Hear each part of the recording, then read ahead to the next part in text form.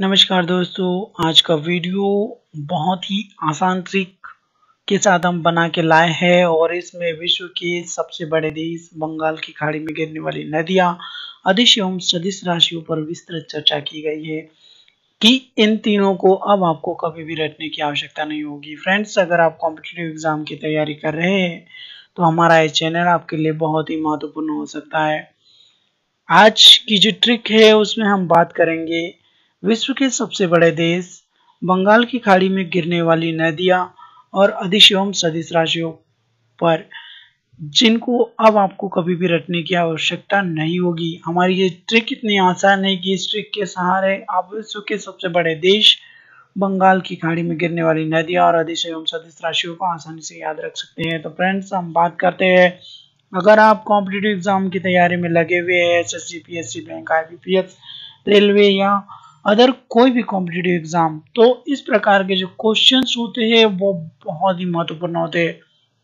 और इन क्वेश्चनों को आपको याद करना, ये जब टफ होता है तो उसमें ये ट्रिक है, आपको बहुत ही लाभदायक सिद्ध होती है। तो फ्रेंड्स वीडियो स्टार्ट करने से पहले हम आपको बता दें कि हमारा channel easy and crazy G K tricks complete study centre अगर आपने इसको सब्सक्राइब नहीं किया है तो सब्सक्राइब कर लीजिए और हमारे इस बेल आइकॉन को भी पुश करना ना भूलिए, ताकि जो वीडियोस हमारे अपलोड होते हैं, उनका नोटिफिकेशन आपको मिले और आप तैयारी को अपनी बेहतर कर सके।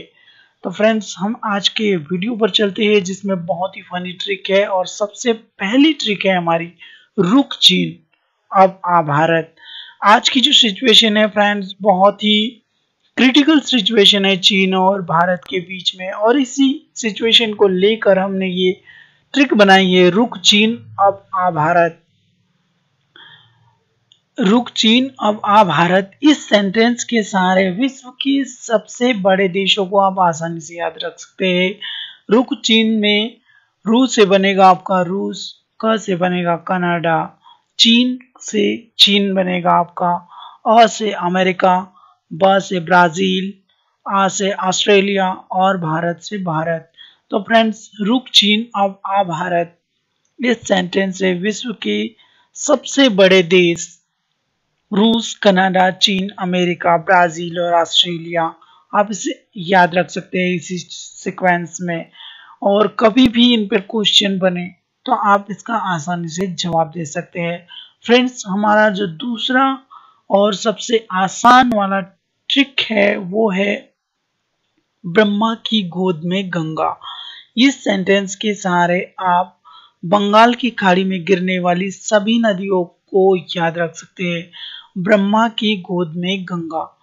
ब्रह्मा की गोद में गंगा ये ऐसा सेंटेंस है जिससे बंगाल की खाड़ी में आने वाली या गिरने वाली सभी नदियों को आप याद रख सकते हैं। ब्रह्मा से बनी नदी का नाम जो आएगा, वो आएगा ब्रह्मपुत्रा। की से कावेरी और कृष्णा। दो नदियाँ हैं, गोद से गोदावरी मे से महानदी और गंगा से गंगा। ये छह नदियाँ बंगाल की खाड़ी में गिरने वाली प्रमुख नदियाँ हैं।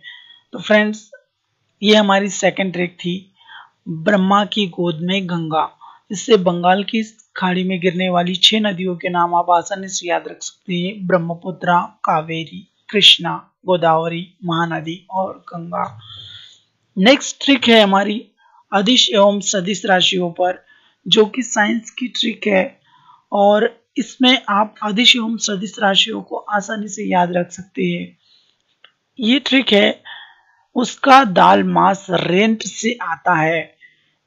इस सेंटेंस के सहारे आप अधिस एवं सदिश राशियों को आसानी से याद रख सकते हैं कि उसका दाल मास रेंट से आता है। यहाँ मास को हमने एम एस में कन्वर्ट किया है ताकि इससे हमारा जो ट्रिक को फॉलो करना है, वो इजी हो जाएगा और आपको आसानी से याद रहेगा कि इसमें कौन कौन सी अधिस एवं सदस्य राशियाँ बनती है।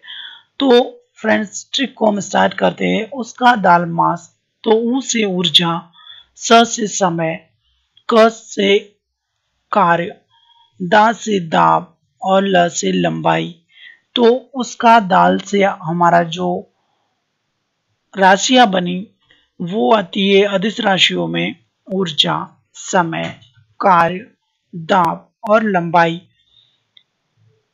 इसके बाद नेक्स्ट है मास रेंट से आता है तो एम ए एम ए से बना मास एस से बना स्पीड उसके बाद आता से आ से आयतन और ता से ताप.